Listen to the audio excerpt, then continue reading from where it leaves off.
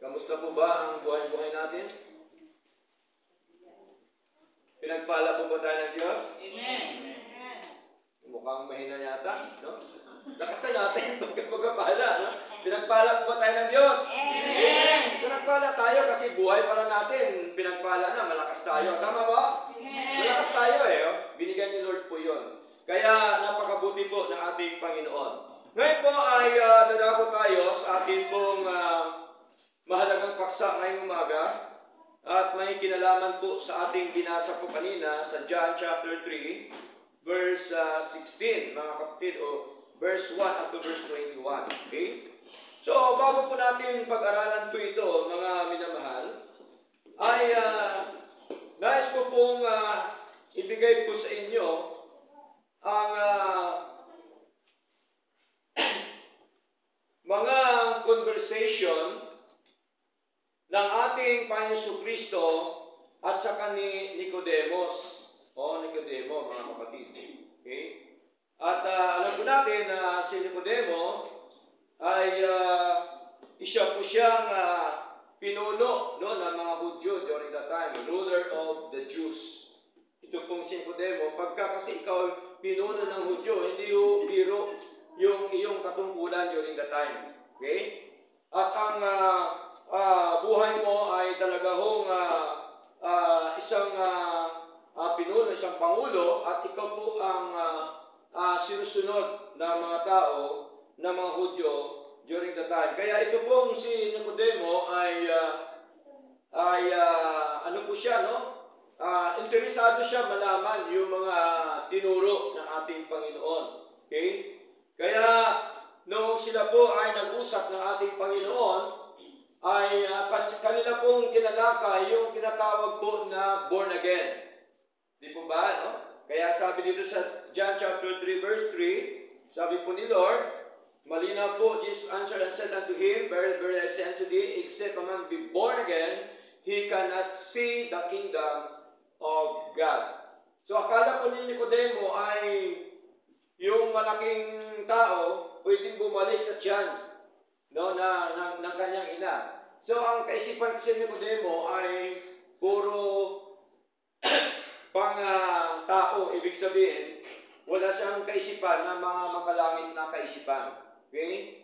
Kaya ang sabi po dito mga kapatid, sa verse 12, sabi po ni Lord, kung sabihin ko kayo na makalupang mga bagay at kayo ay hindi sumampalataya, paano ba kayo sumampalataya kung sasabihin ko sa inyo ang makalangit na mga bagay? So, ibig sabihin, ang tinutukoy po ni Lord, ito po yung mga uh, heavenly things, no? mga makalangit na bagay. Ito po yung tinatawag na born again. Hindi po ito makalaman, hindi po ito makamaterial na bagay, kundi ito ay heavenly things. No? Ang uh, sinasabi po ni Lord tungkol po sa tinatawag na born again. Okay? So, kaya sinabi po dito ng ating Panginoon na obligado, kailangan na isang tao ay maborn again. No? Obligado po yon. Hindi po sinabi ni Lord na, eh kung gusto mo, maborn again ka, i-born again kita. Wala ko siyang sinasabi ganon. Ang sinasabi ni Lord na kailangan, kaya sabi dito, sa verse 7 ng chapter 3 ng John, Marvel not, it is said unto thee, ye must be born again. Dapat, kayo ay dapat maipanganak na muli. So, kailangan po talaga, no? Kailangan po. Hindi yung, uh, pero nagbo-born again po, hindi yung pastor. Kasi, take note po, ah, maraming katuruan ngayon, ang nagbo-born again daw, ang pastor. Kaya pinapatanggap nila para mag-born again. Okay? Ang iba naman, para ka mag-born again, bautismuhan ka sa tubig. Okay? Ang iba naman, para ka mag-born again, pangaralan ka ng salita ng Diyos. Mali po. Tandaan po natin ang nagbo-born again sa atin, ang Espiritu ng Diyos. Amen po? Ang Espiritu ng Diyos, ang kapangyarihan ng Diyos, ang siya nagbo-born again. Kasi ang tao, wala naman kapangyarihan ng tao eh. Amen? Wala tayong kapangyarihan. Sino ba naman tayo? Ang, ang, kung tutusin, ang tao, sabi ni Lord, sa John, uh, sa Romans chapter 3 verse 10, sabi ni Lord, walang matuwid wala ni kahit isa. Okay? Pagdating sa verse 12, walang humahanap sa Diyos. E paano yung born again sa sarili mo? Tama ba? Kaya ang tao, kahit ano sabihin niya na magbago, hanggang di siya kilusin ng Panginoon, eh wala po yung pagbabago na mangyari. Okay? Kaya di po ba, pagdating ng December, pag sa January 1, gusto ko na magbago. Di ba? So, hindi naman nagbabago eh. Ang totoo niya na nagbago yung lugar, yung pwesto, yung brand na, gina, na, na iniinom o ginagamit. Pero yung buhay, wala pagbabago po yan. Hanggat hindi ka i-born again, hanggat hindi ka kilusin ng Espiritu po ng Diyos. Okay? So, tayo bilang anak ng Diyos, nagdidepende po tayo sa ating Panginoon. Ngayon po, mga kapatid, ay uh, habang sila po ay nag-uusap, nangangaral po ating Panginoon Kristo kay Nicodemo, mga minamahal, ay na ipangaral po ng ating Panginoon Kristo. Ito po yung very controversial verse ng banal na kasulatan.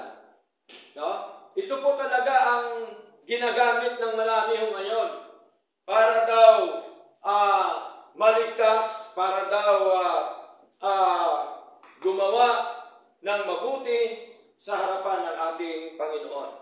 Ngayon po, talakayin po natin ito ngayon mga kapatid. Now, sabi dito sa verse 16 ng John chapter 3, okay, For God so loved the world that He gave His only begotten Son, that whosoever believeth, tanong, pag sinabi bang whosoever believeth, Past tense ba ito? Past tense po. Believe it eh. Believe it. Pag sinabi whosoever believe it, ibig sabihin, in the state of believing na ang isang tao. Amen? Kaya sabi ko dito, that whosoever believeth in Him should not perish, but have everlasting life. Ngayon, dito po tayo ngayon mag-concentrate sa verse 16, mga kapatid. Now, our topic this morning is about our great salvation. Our great salvation. Ang ating dakilang kaligtasan. Naniniwala ba tayo na mayroong kaligtasan at buhay na walang hanggan na binigay Diyos sa atin?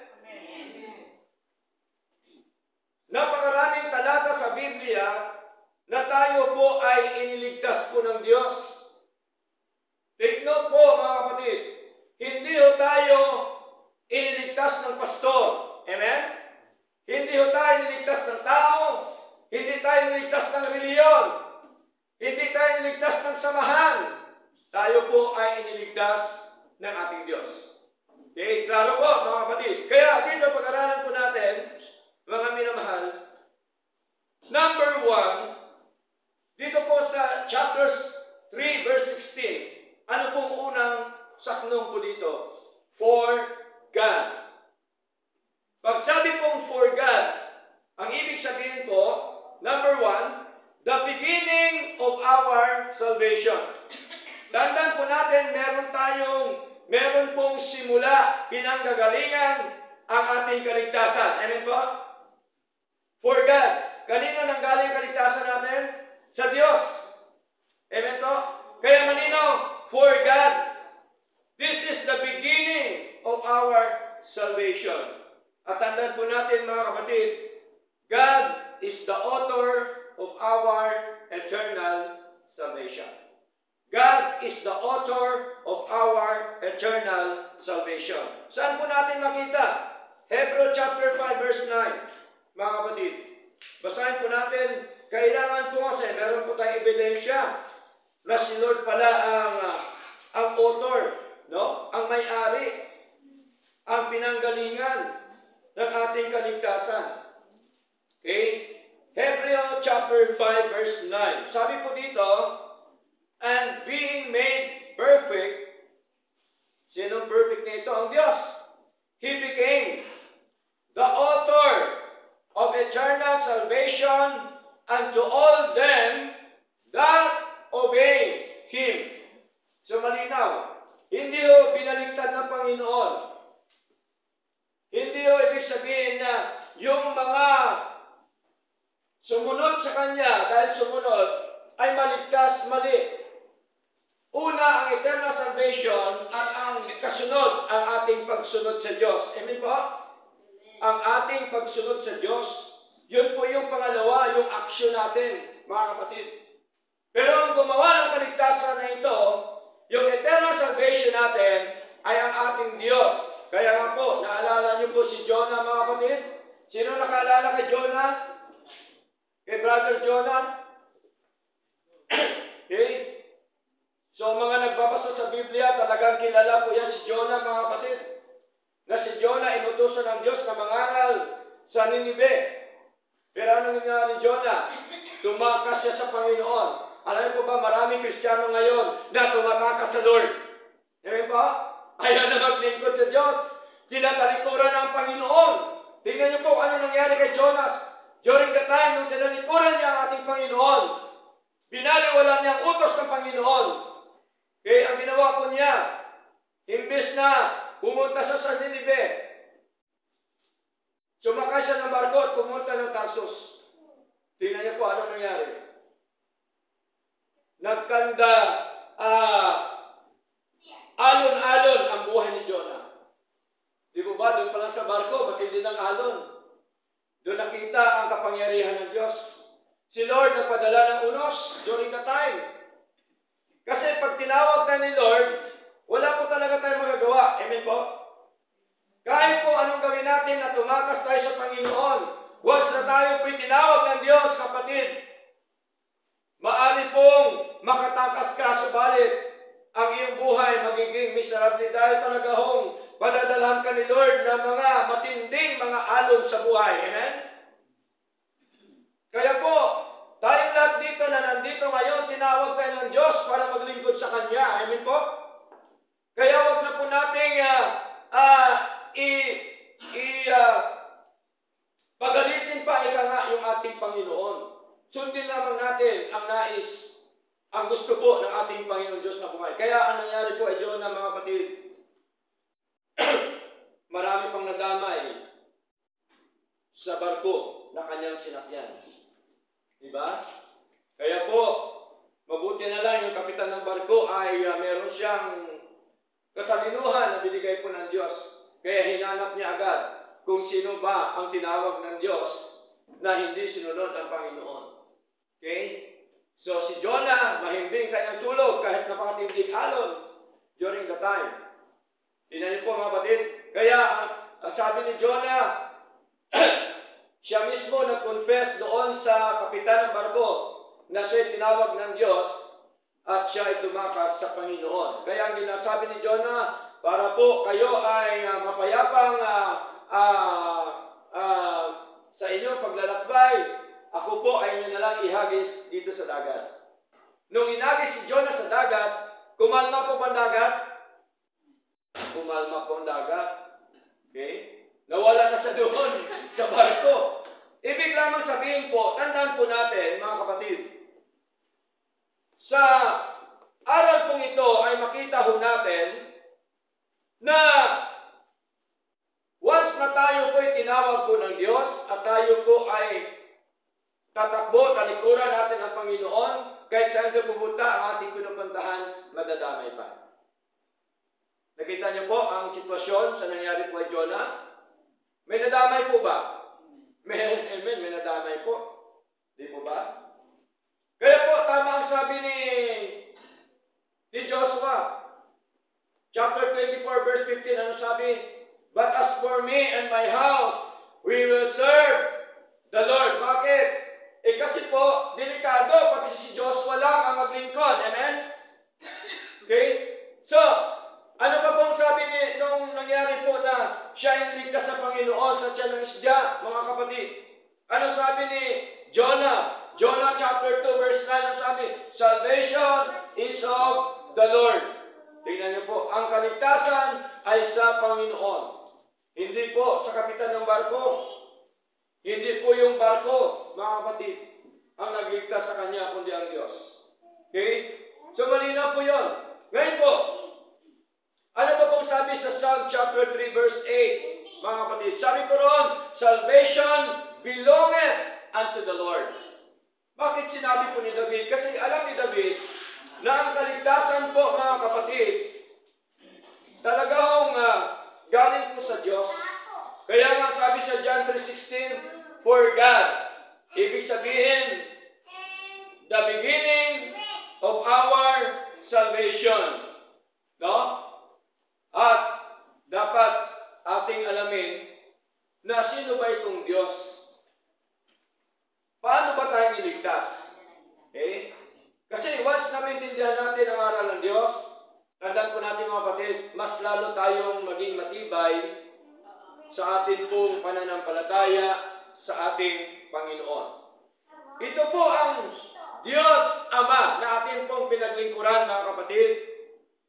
Ito po yung tinutukoy dito na kung saan po sa 1 Peter, basahin po natin, 1 Peter chapter 1 verse 2, okay? Sabi po dito, ni Pedro, elect according to the foreknowledge of God the Father. Through sanctification of the Spirit and obedience and sprinkling of the blood of Jesus Christ. Grace unto you and peace be multiplied. Nakita ba dito yung tinatawag po na Godhead? Nakita. Yung Father, meron siyang hinirang. Ang Espiritu, siya po ang nagpapabanal.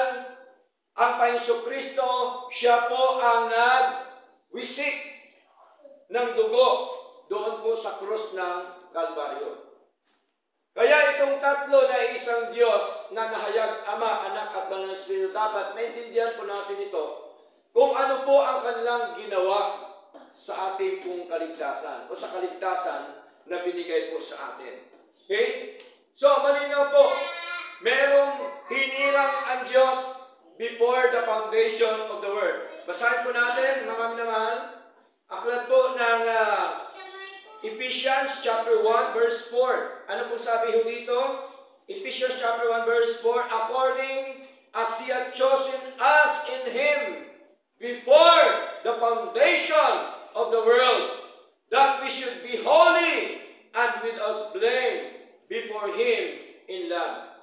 So malinaw, alinsunod sa pagkapili niya sa atin, sa Kanya, bago pa ang pagtatag ng sanlibutan. Kailan tayo pinili? Bago ang pagtatag ng sanlibutan. Bakit? Sapagkat ang ating Diyos ay isang tinatawag po na because of His foreknowledge. Amen? Dahil sa kanyang kaalaman, alam po yan ng Diyos. Alam ng Diyos kung sino ang kanyang iniligtas, kung ilan ang kanyang iniligtas. Alam po ng ating Panginoong Diyos na buhay. Kaya po mga kapatid, sabi po niya sa Isaiah chapter 46 verse 10, sabi po ni Lord, My counsel shall stand, and I will do all my pleasure. Ang payo ko mananayo at nag nagagawa ko ang buo kong kaligayahan. Nagagawa ba ng Diyos ang gusto niya? Nagagawa niya. May nakakapigil ba sa Diyos? Wala.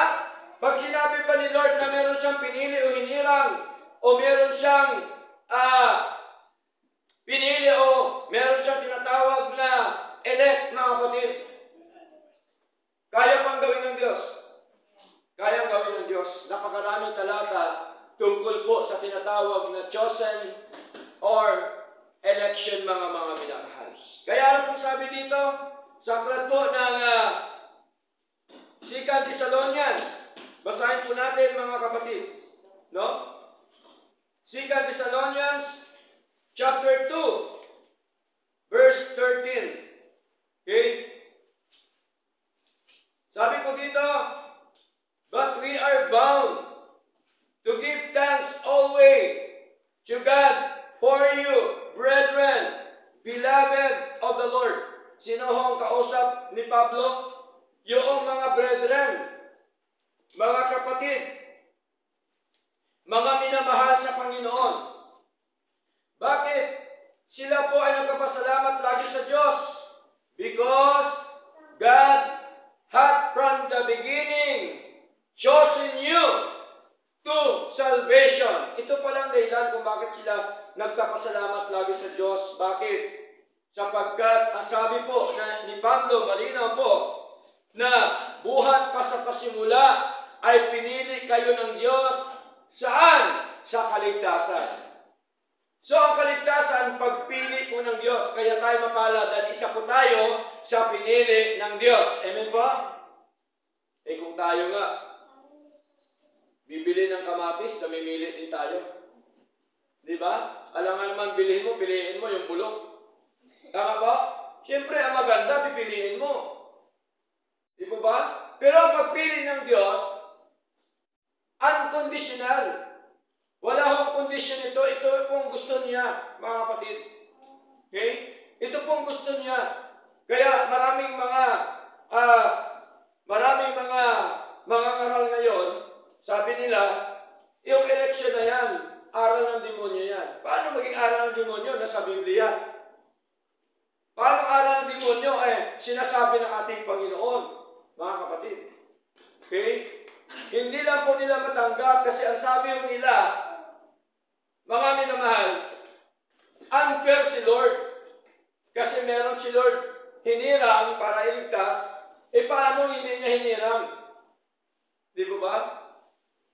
Yung mga hindi hinirang, hindi natin problema yon. Problema po ni Lord yun, amen? Kasi ang kaligtasan, ginawa po yan ng Diyos, hindi naman tayo gumawa niyan. Okay? Kaya nga po, tandaan po natin,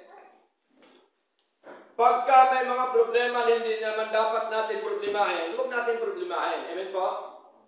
Kasi may stress lang po tayo. Yun po ang kasabihan na, do not problem your problem. Because if your problem your problem, the problem will problem you. Eh, problema yun. No?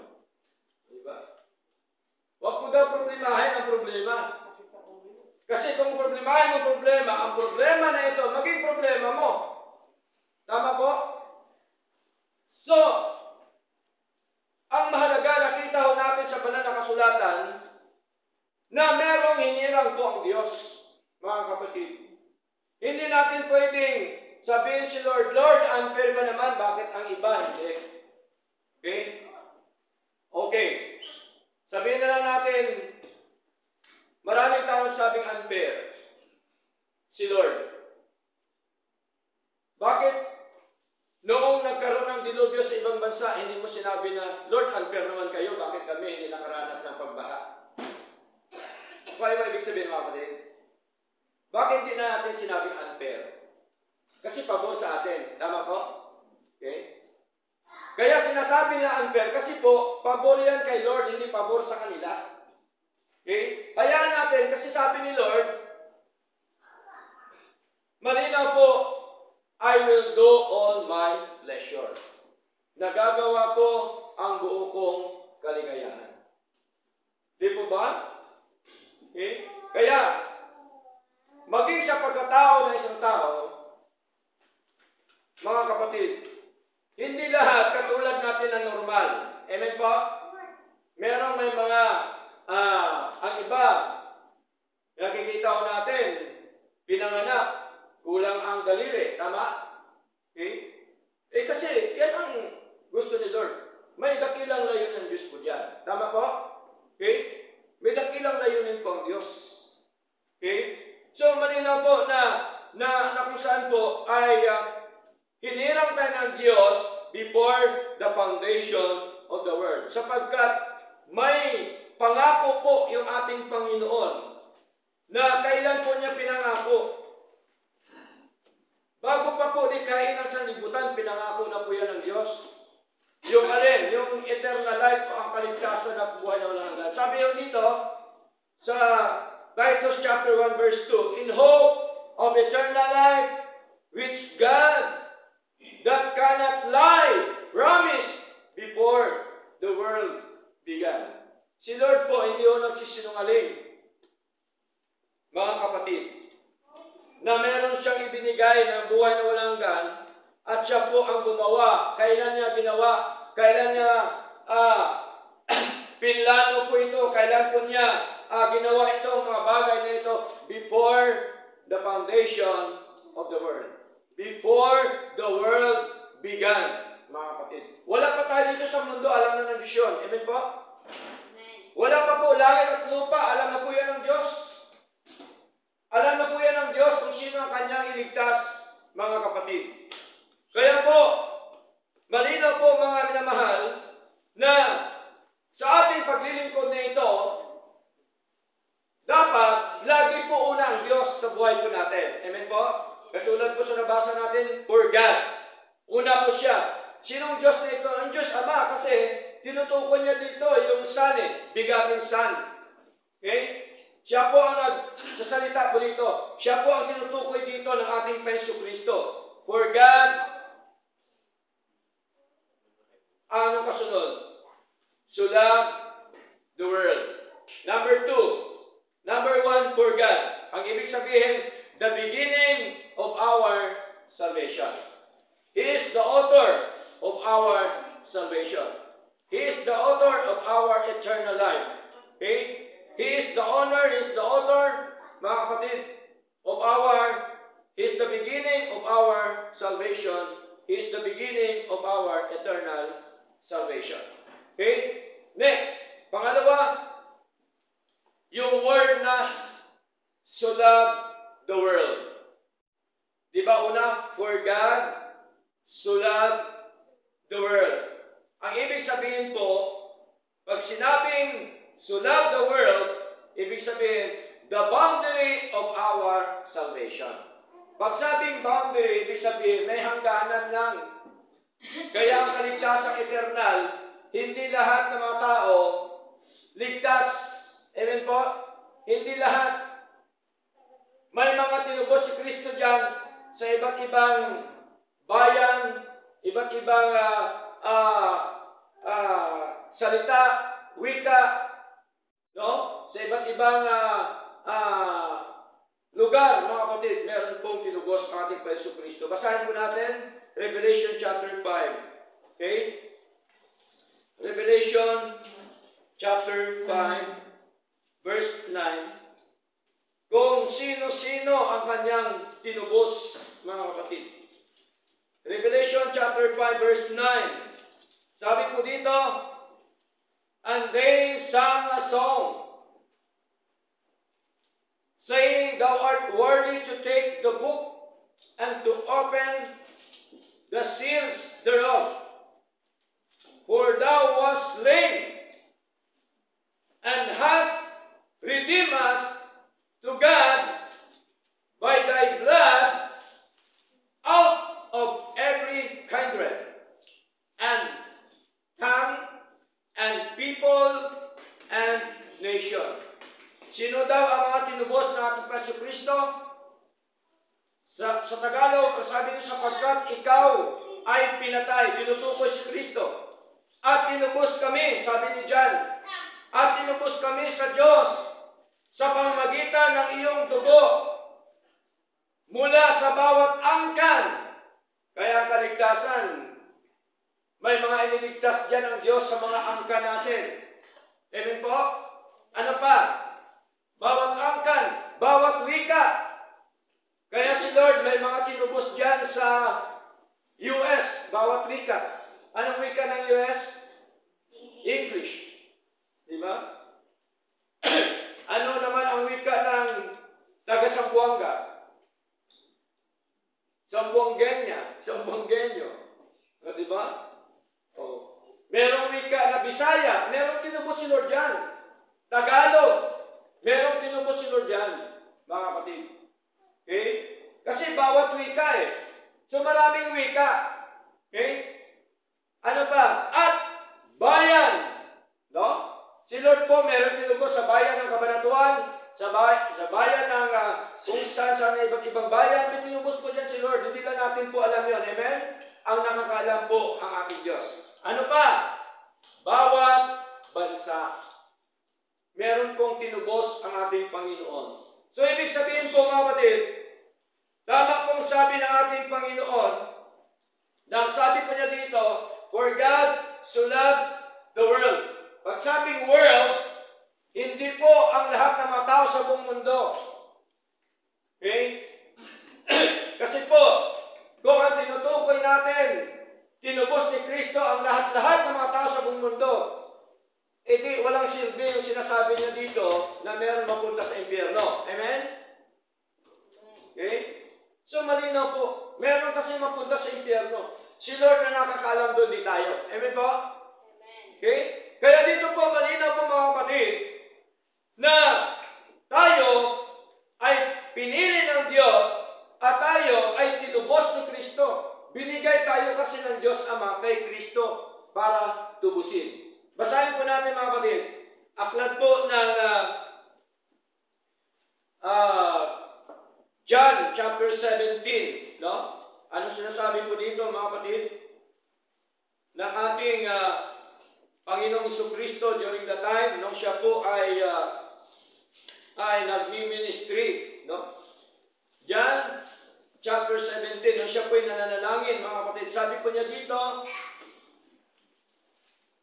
And now come I to thee, and these things I speak in the world, that they might have may joy fulfilled themselves. Yung tinutukoy dito na world, ito po yung mga tinubos ng ating Peso Kristo. Okay? Ito po yung tinutukoy na tao na tinubos ni Kristo. Kasi kung word lang ito ng mga bagay dito sa mundo, eh, pwede ba naman yan sabihan mo, salitain mo, hindi ho. Ang tinutukoy dito yung word, ibig sabihin, yung people of God. Amen po? Yung people tinutukoy na word, ito po yung mga elect people of God, mga kapatid. Okay?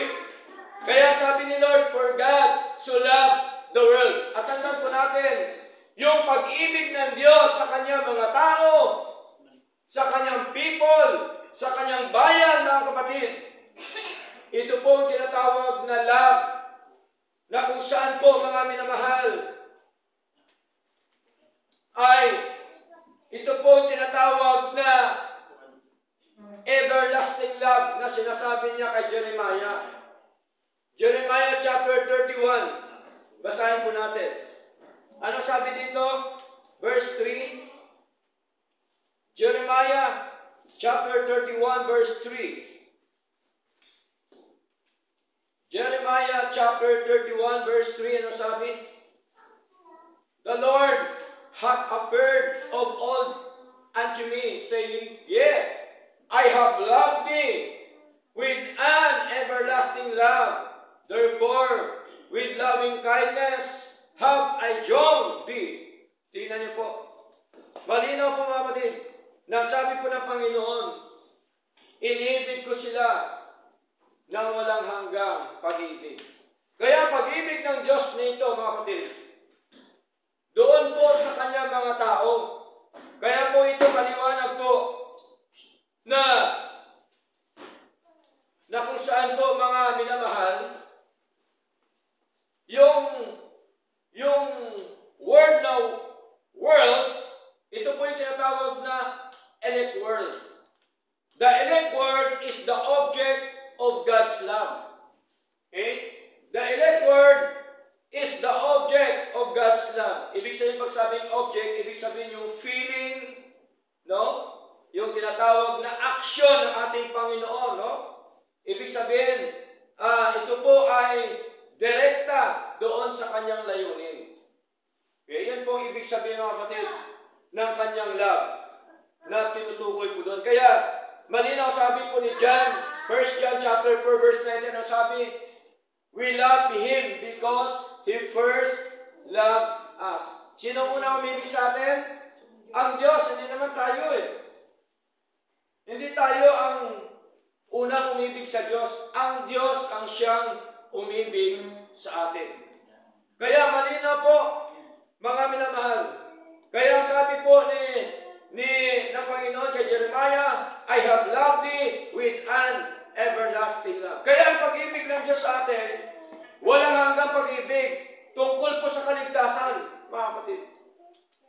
Kaya tayo, ang kaligtasan at buhay na walang hanggan sa atin ngayon, ay atin po itong ma- maranasan, atin po itong ma-fulfill sa buhay po natin kapag tayo po ay wala na dito sa lupa at tayo po ay kasama na po ni Lord. Amen po? Yun po ang kaligtasan at buhay na walang hanggan. Iniligtas ka ng Diyos sa impyerno. Amen po? Okay? So malinaw po yung mga kapatid. Ano pa, mga minamahal? the elect world which God chose before the foundation of the world. Pinili na ng Diyos bago pa po likhain ang sanlibutan mga minamahal. Kaya tayo po ay binigay ng Panginoon, ng Diyos, doon sa ating Panginoon Kristo. Basahin po natin ang John chapter 6 mga kapatid, no? John chapter 6 verse 37. Ano sabi po dito mga minamahal? John chapter 6 verse 37 mga minamahal. Sabi po dito sa wikang Tagalog, sabi ng ating Panginoon Kristo, lahat ng ibinigay o ibinibigay ng Ama sa akin ay lalapit sa akin. At siya na lumalapit sa akin ay hindi ko kailanman itataboy. May mga ibinigay ang Ama, ito po yung mga hinirang, tayo po yun, dinubos. Verse 38, sapagkat ako ay bumaba mula sa langit, hindi upang gawin ang aking sariling kalooban, kundi ang kalooban niya na nagsugo sa akin. Sino hong tinutukoy ng Panginoon nagsugo sa Kanya? Yung Ama. Amen po? Ang Ama nagsugo kay Kristo. Ang sinugo si Kristo. Hindi yung founder ng reliyon. Amen po? Marami ngayon, kinikilala nila ang sugo daw ng Diyos. Ang kanilang founder, hindi po. Mga kapatid. Okay? Hindi po. Si Kristo ang sinugo.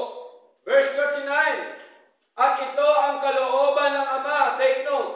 At ito ang kalooban ng Ama na nagsugo sa akin, sabi ni Kristo, na sa lahat ng kanyang naibigay sa akin. Sino yon? Tayo ay hindi ko dapat maiwala ang sinuman, kundi dapat ibangon itong muli sa huling araw. Tingnan niyo po, naalala niyo po yung pinag-aralan natin, the final phase of salvation, na sa pagdating ng Panginoon, ang mga mga nangamatay na sa Panginoon, unang bubuhayin, tama po? Tapos sama-sama sa salubong po sa ipakawid sa ating Panginoon. Okay? So malinaw po yun mga kapatid. Ano pa po sabi dito?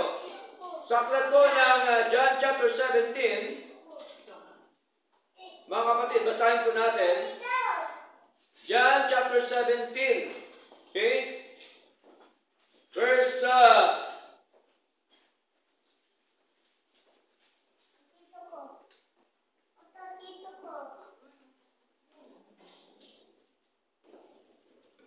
Verse 2. Sabi dito, nanalangin si Lord, kung paanong ikaw ang nagbigay sa kanya ng kapangyarihan sa lahat ng laman upang siya ay dapat magkaloob ng walang hanggang buhay. Tinutukoy yun niya kanyang sarili doon sa Ama nung nananalangin. No? Dapat magkaloob ng buhay na walang hanggan na gaya ng marami na iyong naibigay sa kanya. Tingnan niyo po mga kapatid. Verse 3, ano sabi? At ito ang buhay na walang hanggan na kanila nawang makilala ka na kaisa-isang tunay na Diyos at si Kristo na siyang naisugo mo. So malinaw po mga kapatid. Kaya po merong ibinigay ang ating Diyos Ama sa ating Panginoong Heso Kristo. Sa verse 9, ano sabi? Sabi ni Lord, ako ay nananalangin para sa kanila. Ako ay hindi nananalangin para sa sanlibutan. Okay? Kundi para sa kanila na iyo na ibigay sa akin sapagkat sila ay sa iyo. So tayo po yon na mga ibinigay ng Ama kay Kristo. Tayo pong tinubos. Kaya ang katubusan po mga kapatid ay uh, marami ang tinubos ng ating Peso Kristo. Kaya sabi dito, yung, yung pag-ibig ng Diyos, meron lang pong boundary. The boundary of our, of our salvation, mga kapatid. Kaya malinaw po na tayo tinatawag na elect world, tinatawag tayo na chosen, tinatawag tayo na people of God, tinatawag tayo na na sheep, tinatawag tayo na children of God, tinatawag din po tayo na people of God, mga kapatid. Okay? So malinaw.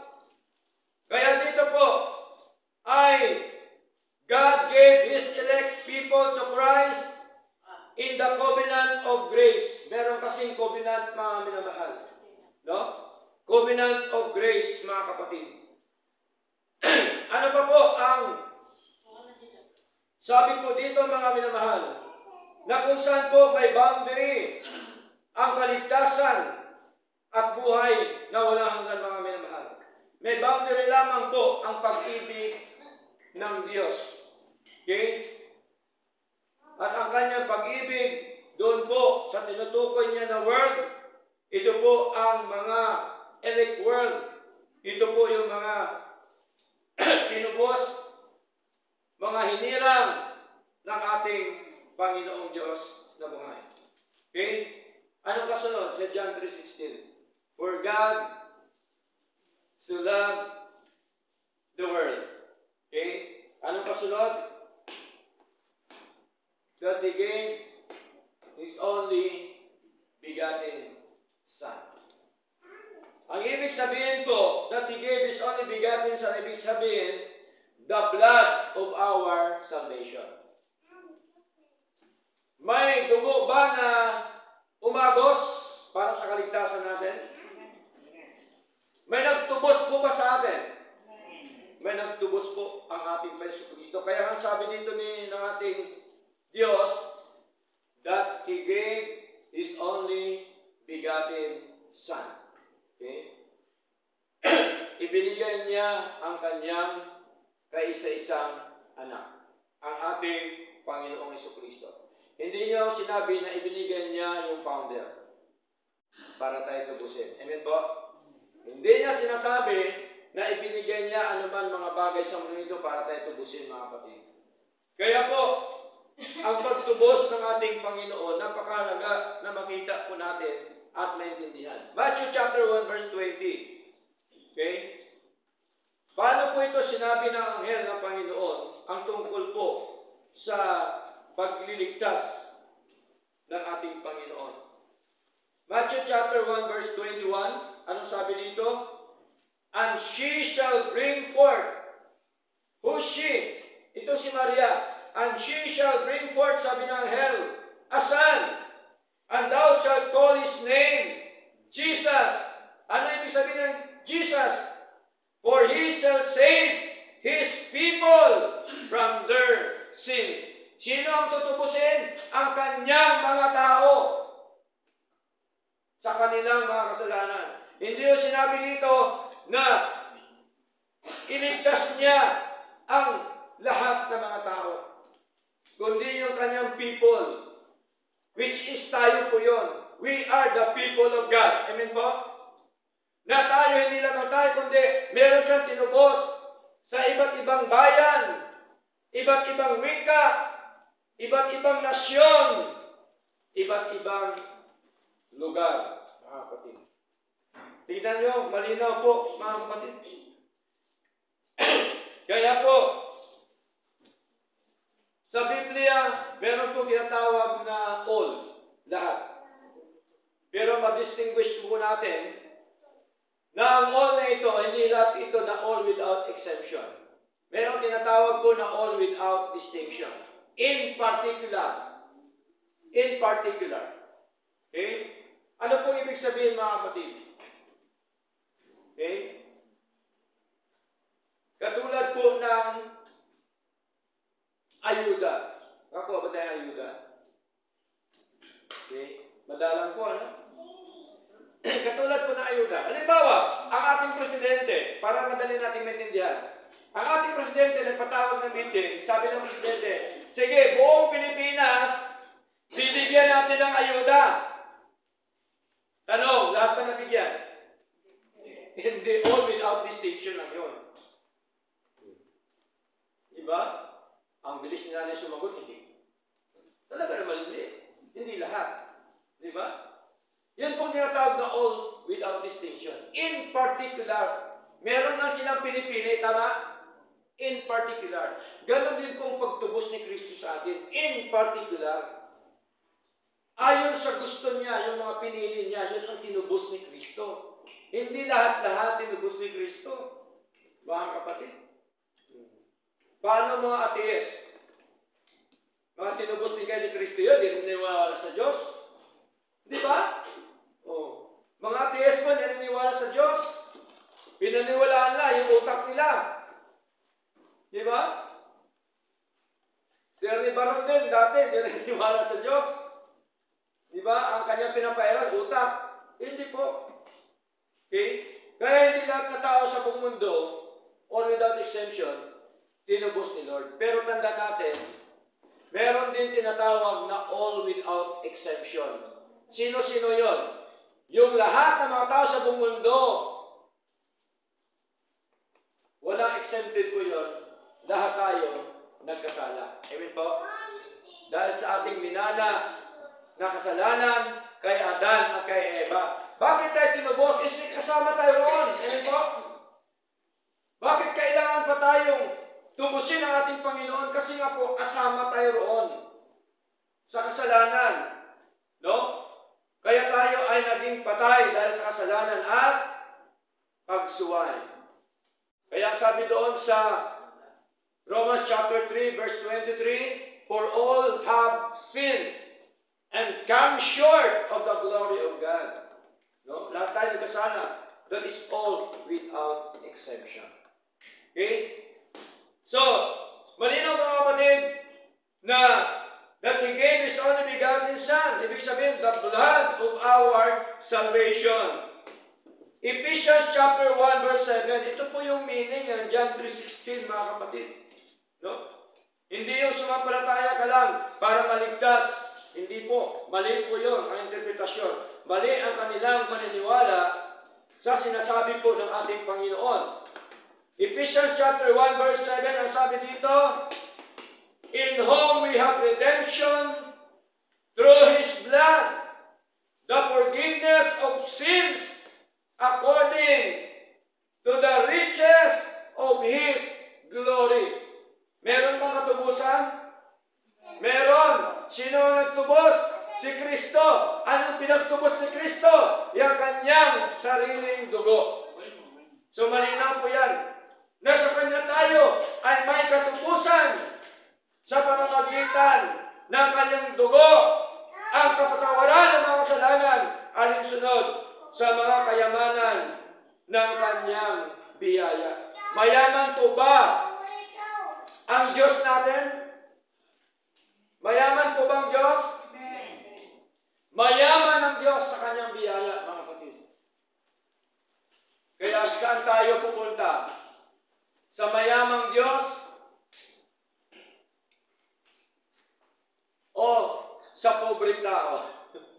Siyempre sa mayamang Diyos, siya mayaman sa biyaya po, mga kapatid. Kaya ang kaligtasan natin, biyaya ng Diyos. Amen? Pag sabing biyaya, gawa yan ng Diyos, hindi gawa ng tao. Di po ba? Pag sabing biyaya, walang partisipasyon ng tao sa kaligtasan. Amen po? Pag sabing biyaya, walang ginawang tao dyan. Ang gumawa ang Diyos. Okay? So malina po, no? The blood of our salvation, ang ating Panginoong Heso Kristo. Kaya ano pa po sabi dito? Basahin po natin ang Matthew chapter 20 verse 28. para mas lalo nating maintindihan yung doktrina, yung tunay na doktrina ng ating Panginoon. Matthew chapter 20, verse 28, mga kapatid. Okay? Anong sabi ho dito? Even as the Son of Man, sinong Son? Si Kristo po ito. Sinong man? Si Virgin Mary o si Mary came not to be ministered unto, but to minister and to give his life a ransom for many. Hindi naman all. Tama? Many, marami. Para sa katubusan ng marami. Sino yon? Mga elect, quickened people of God. Mga pinili ng Diyos, mga hinirang ng Diyos ang tinubos ni Kristo mga minamahal. Meron minsan nagtanong sa akin, Pastor, bakit po ba hinirang na po ng Diyos tayo, bakit pa tayo tubusin? Kailangan tayo tubusin para tayo may pureba sa kaligtasan. Amen po? Pureba, ebidensya. Si Kristo napako sa krus para sa akin, para sa atin, para sa ating lahat na mga hinirang po ating Panginoon. Kaya ang pinapangaralan, yung mga tinubos. Amen? Pag tinubos, ligtas na. Amen po? Mga tinubos. Kasi hindi mo pwede pangaralan ng hindi ligtas. Ang hindi anak ng Diyos, hindi ka pwede mangaral doon. Bakit? Sa kanila kahangalan ang salita po ng Diyos. Walang kwenta sa kanila ang mga salita ng Diyos. Okay? Malinaw, for God to love the world Number one, for God. Number two, so love the world. Number three, that He gave His only begotten Son, na ibig sabihin, the blood of our salvation. Mga kapatid. Hebrew chapter 9 verse 12. Basahin po natin. Okay? Hebrew chapter 9 verse 12. Mga kapatid. Sabi dito, neither by the blood of goats. Tingnan niyo po and calls, but by his own blood he entered in once in the holy place, having obtained eternal redemption for us. Walang hanggang katubusan po ang pagtubos ng ating Panginoon Kristo sa atin. Kaya meron din tayong walang hanggang buhay. Okay? walang hanggang buhay, walang hanggang katubusan ng ating Panginoong Heso Kristo. Okay? Kaya ang kaligtasan po, once lang po binigay ng Diyos sa atin. Amen po? Once na binigay na po ni Lord, hindi po pwede yan bawiin ni Lord. Once na tayo po ay pinirang ng Diyos, once na tayo po ay tinubos na ni Kristo, na po pwedeng bawiin po yan ni Lord. Maraming mga aral ngayon, binabawi ang kaligtasan. Di ba? Oh. Pagka, pagka nawala na sa paglilingkod, ano sabi ng pastor? Eh, kaya naman wala na dito yan kasi hindi naman ligtas yan. Eh. Hindi natin sinasabi yon kasi ang nagliligtas ang Diyos. Amen po? At ang alam natin na ang ligtas, meron po yang ginagawa sa Lord. May bunga yan. May pureba yan. May ebidensya yan. Anong ebidensya? Sumasampalataya po yan sa ating Panginoon. So malinaw, give His life a ransom for many, not all. Hindi lahat tinubos ng ating Panginoong Iso Kristo. Okay? Now, number four, doon pa rin tayo sa John 3.16. Anong sabi sa John 3.16? For God so loved the world that He gave His only begotten Son. Pangatlo yun. Pangapat, whosoever believeth, ang sino man sumasampalataya. Pag sabi pong whosoever, ibig sabihin, nasa estado na siya na nanampalataya sa Lord. Hindi yung ibig sabihin manampalataya ka para ka maligtas. Mali po. Tandaan po natin, ang isang bungang kahoy, bago ka magkaroon, magpitas ng bunga, anong una? Puno o dahon? Anong una itanim? Puno. Bago ka magkaroon ng bunga. Alangan naman na si Sibol yan, bunga agad.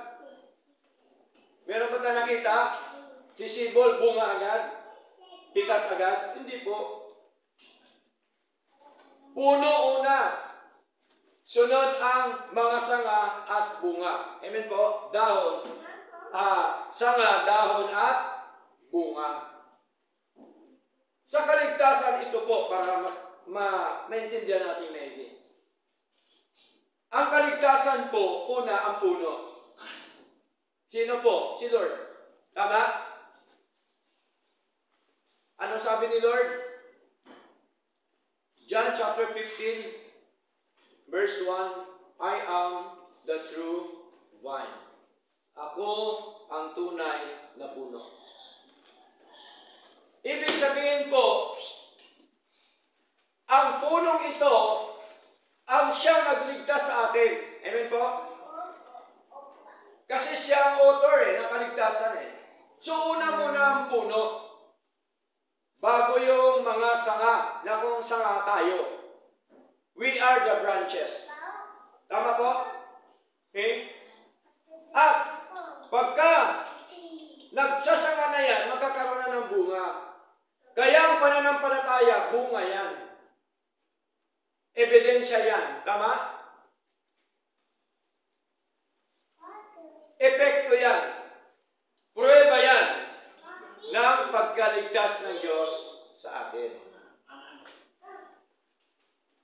Ang pananampalataya, malinaw po, bigay lamang po yan ng Diyos sa atin. Okay? Sapagkat hindi lahat na tao ay may pananampalataya. Basahin po natin, mga kapatid, Acts chapter 13, para malinaw lamang po ang ating pinag-aralan po ngayon.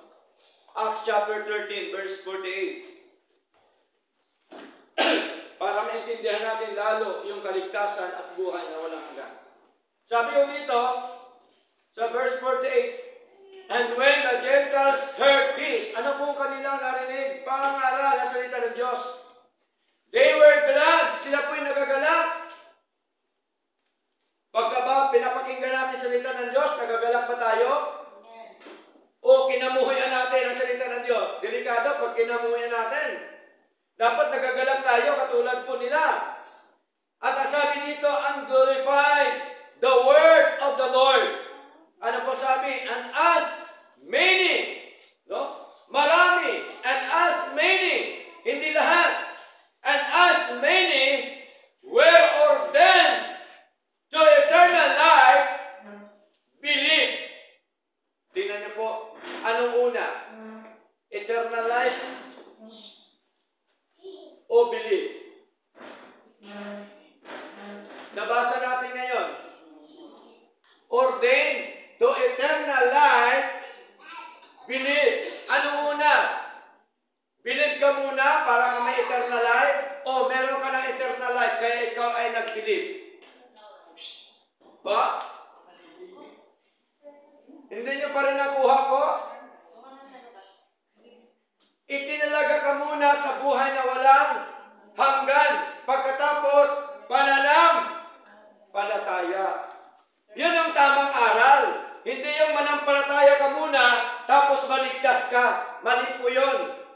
Nauna po yun ang bunga sa ilalim ng lupa at ang puno doon sa taas.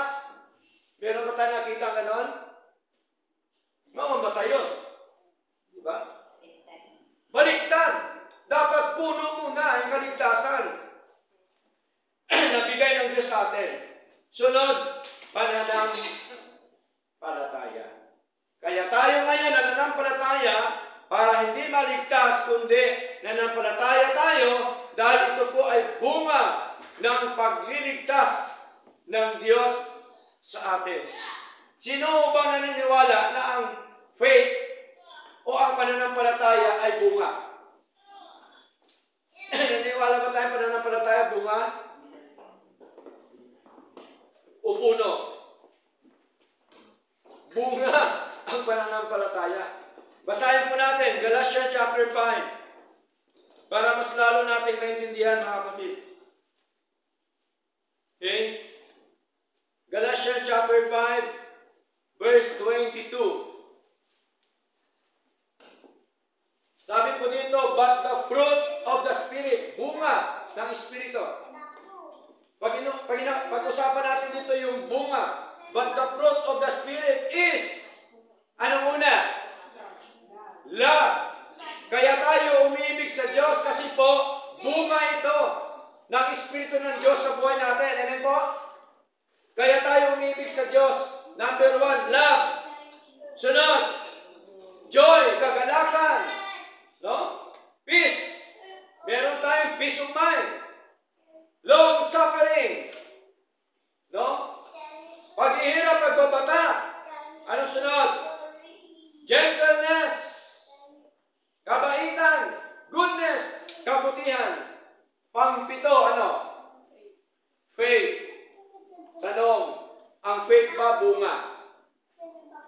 Bunga po, hindi po siya puno. Ang puno, ang kaligtasan at buhay na walang hanggan na ginawa ng Diyos sa atin at ang bunga, yung faith, yung love natin sa Lord, yung joy natin sa Lord, yung goodness sa Lord, yun po yung bunga. At ang nagbigay po sa atin yan ay ang Espiritu ng Diyos. But the fruit of the Spirit, malinaw po, mga minamahal. Kasi, kung ang faith ang mauna, eh paano sumampalataya ang patay? Tama po? Dahil tayo patay, dahil sa kasalanan at pagsuway, paano ka sasampalataya sa Lord? Patay ka nga. May response po bang patay? Kahit anong gawin mo sa patay, hindi yun yung makakaramdam. Kasi patay po eh. Ang nakakaramdam po, buhay. Amen po? Buhay ang nakakaramdam. Kaya tayo, buhay na kasi niligtas na tayo ni Lord. Amen po? Hiniratan ng Diyos Ama. Tinubos tayo ni Kristo. Binon again tayo ng Espiritu ng Diyos. Kaya ang born again, meron po talaga yan pagbabago sa buhay. Amen po? Hindi natin pwede sabihin ng isang tao na born again hanggat nakikita mo na nandoon pa rin sa kanya mga bisyo kasalanan sa harapan ng ating Panginoon. Second, Corinthians chapter 5 verse 17, ano sabi? If anyone be in Christ, he is a new creature. All things are passed away. Behold, all things are become new. May pagbabago po talaga yun, mga kapatid. Hindi pwedeng hindi magbago. Kasi ang Diyos po talaga ay nagbabago po ng buhay. Okay? So malinaw po. No? Whosoever believeth, the beneficiary of salvation. Okay? Beneficiary natin ito, mga kapatid. Benepisyo natin ito sa ating Panginoon. Mga minamahal, kaya tayo kailangan sumampalataya sa Kanya. Hindi para maligtas, kundi sumampalataya tayo dahil binigyan tayo ng buhay na walang hanggan. Okay? Whosoever believeth, meaning in the state of believing. Nasa estado na na paniniwala. Once ang isang tao in the state of believing na, ligtas na po siya. Amen po? Kasi hindi ka naman sasampalataya nang hindi ka ligtas. Amen po? Hindi ka sasampalataya kung ikaw ay hindi anak ng Diyos. Okay? So, ano pa po mga kapatid? Malinaw po na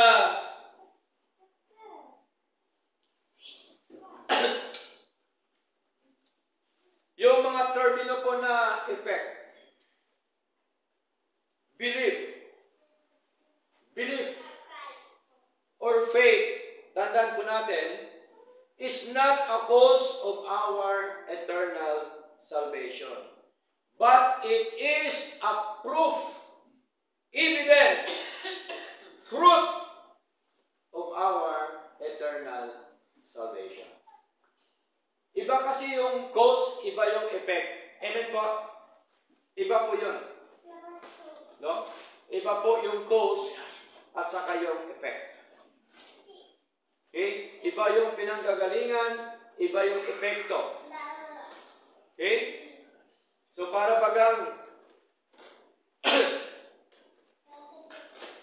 sa isang tao,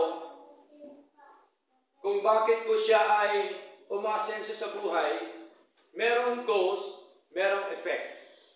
Tama po? Yung cause ng isang tao, bakit naging magandang buhay po niya? Una, syempre, ang cause ano po? Masipag siya. Tama? Gumagawa siya, masipag siya. Kaya nga po, minsan eh, madaling araw pa yan, naghihintay pa na interview kasi masipag siya. Yung effect, yung effect po, yung kanyang pagkakaroon ng magandang buhay. Tama? Pero syempre lahat yan, galing sa Diyos. Okay? So iba yung cause, iba yung effect. Tandaan po natin yan mga kapatid. So, whosoever believeth, ibig sabihin the beneficiary of salvation. No? Kaya tayo nanampalataya dahil tayo po ay ligtas na mga kapatid. Okay? At tandaan po natin, ang pananampalataya natin, ang author, uli, ang ating Panginoon. Hebrew chapter 12 verse 2 ano sabi? Looking unto Jesus, the author and finisher of our faith. Tingnan ang Panginoon si Kristo. Siya ang may-ari ng ating pananampalataya. Kasi wala naman talaga tayo pananampalataya noon. Amen po? Ngayon meron na kasi po tayo ay tinubos na ni Kristo at tayo po ay naborn again na. So salamat po sa ating Panginoon. Okay? Next. Panlima, panghuli na po tayo mga kapatid. For God so loved the world that He gave His only begotten Son. Whosoever believeth, yun po yung pangapat. Panlima, should not perish, but have everlasting life. Yung panglima, the benefits of salvation. Benepisyo natin ito mga kapatid, na tayo po ay merong buhay na walang hanggan at tayo po ay hindi mapapahamak. Saan? Doon po sa impyerno. Hindi po ba? So malinaw po mga kapatid. Kaya ang kaligtasan po, hindi po yan automatic na sabihin na ng tao. Di ba? O sino ang gusto maligtas, hindi mapunta sa impyerno. O, tanggapin mo na si Kristo, okay na. Dahil tinanggap mo si Kristo, ligtas ka na ngayon. Dinideklara na ng tao. Okay? Pero hindi niya alam, yung mga pinapatanggap niya, ang iba, hindi naman nagpapatuloy. Tama ba? Ang iba, eh, bumabalik sa dati. Okay? Hindi po yan ang kaligtasan. Ang tunay na kaligtasan at buhay na walang hanggan, gawa po yan ng Diyos, ginawa po yan ng Diyos before the foundation of the world sa atin. Hinirang tayo ng Ama, tinubos ni Kristo, at tayo po ay binorn again ng Espiritu ng Diyos, at ito po ngayon. Ang benepisyo natin sa kaligtasan, na sabi po ni Lord, should not perish, but have everlasting life. Tanong, meron na po ba tayong everlasting life? Nagdududa pa rin kayo. Kaduda-duda po ba si Lord? Hindi po. Sinabi na nga ni Lord, meron tayo buhay na walang hanggan eh. Di ba? Sa pamamagitan po ng kanyang biyaya, nabasa natin kanina mga kapatid. Pero dagdagan pa rin natin. No? Pag sinabi po, should not perish, ibig sabihin, should not perish in hell. Hindi ka mapapahamak doon sa impyerno, kundi meron kang buhay na walang hanggan, kaligtasan at buhay na walang hanggan. So anong katibayan, mga kapatid, sa tinatawag po na everlasting life? Yung everlasting life po ba at saka eternal life, the same? Parehas po ba? Eternal life, everlasting life, meron pang isang term na eternal salvation. Now, my question is, is that the same? Parehas po ba sila? Parehas po. Parehas po sila mga kapatid. Iisa lang po yan, eternal salvation, everlasting life, eternal salvation. Kaligtasan at buhay na walang hanggan. Kaya maraming talata sa Biblia yung tinutukoy po na eternal salvation o eternal life, mga kapatid. Halimbawa po, bago tayo magtapos mga minamahal, John chapter 10,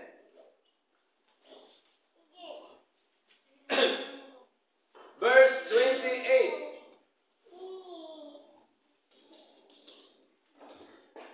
Ano sabi dito? Up to verse 29. Sabi dito ni Lord, And I give unto them eternal life. Sino nagbigay? Ang Panginoon Kristo. Sabi niya, I give unto them. Sino binigyan niya? Yung mga tupa. No, mga tupa. Kanyang sheep. And I give unto them eternal life. And they shall never perish. Kanina nabasa natin sa John 3.16, should not perish. Dito naman, sinabi ni Lord, they shall never perish. Hindi sila kailanman mapapahamak. Tuloy natin. Neither shall any man pluck them out of my hand. Hindi maagaw ng sinumang tao. Kaya ang kaligtasan, hindi pwede agawin ng tao. Amen?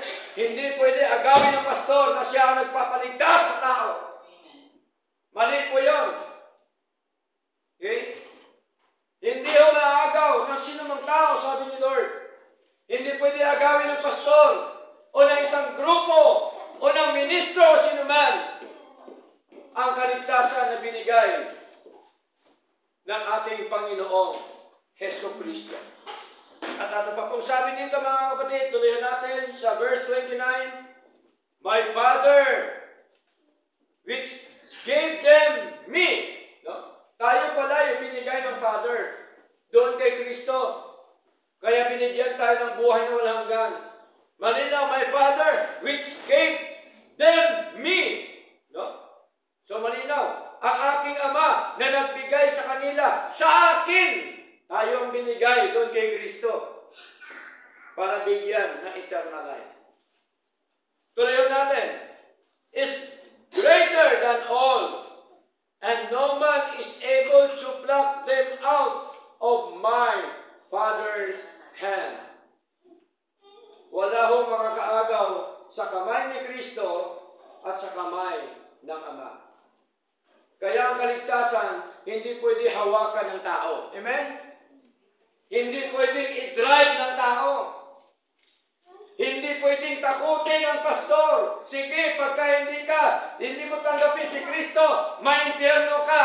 Napakamaling, napakalaking kamalian yan, mga kapatid. Maling aral. Sapagkat walang sinuman na makakaagaw sa kamay ng ating Panginoon.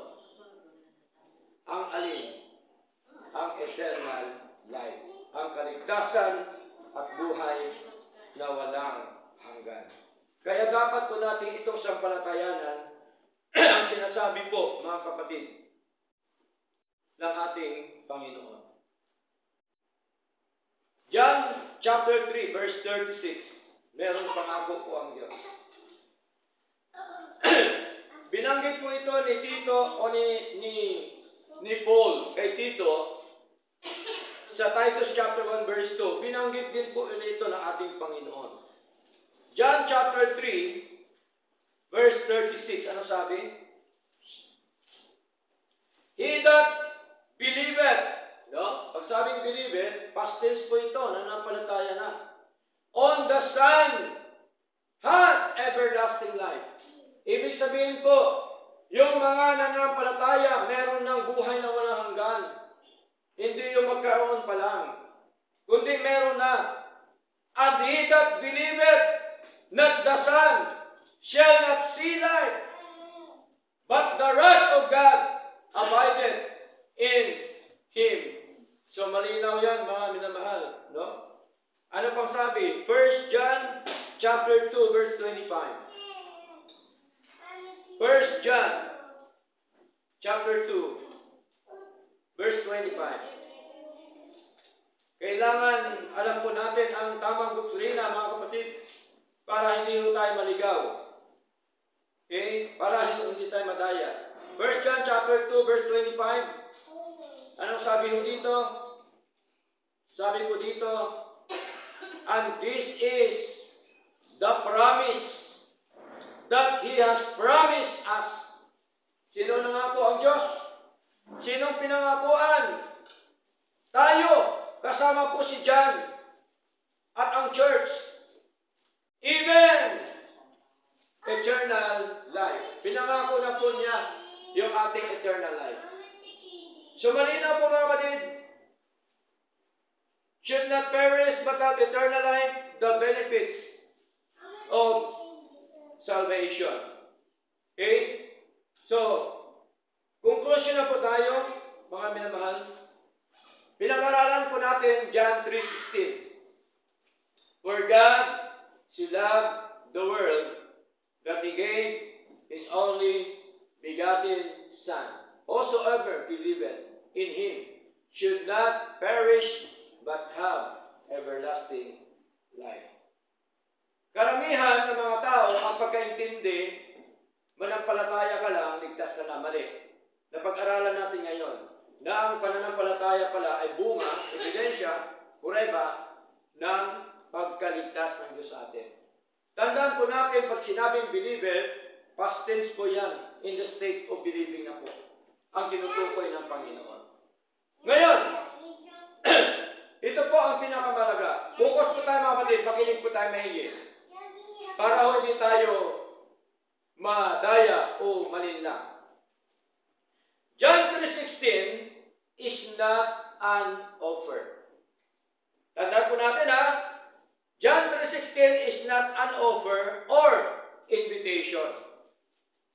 Hindi po ito alok o iniimbita ka ni Lord. Hindi po. But, it is a declaration that the believers had already everlasting life. Deklarasyon po ito ni Lord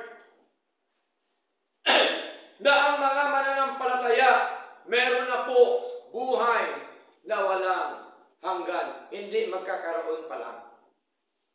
Okay?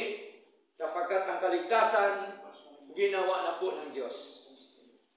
Anong sabi ni Lord? Sa krus ng Kalbaryo, it is finished. Tapos na po. Hindi yung gagawin pa lang. Ang kaligtasan at buhay na walang hanggan. Purihin po Panginoon, nawa, meron pa tayong natutunan at ang Diyos ang siya magpala po sa atin. Purihin Panginoon, tayong lahat po tumayo at tayo po ay aawit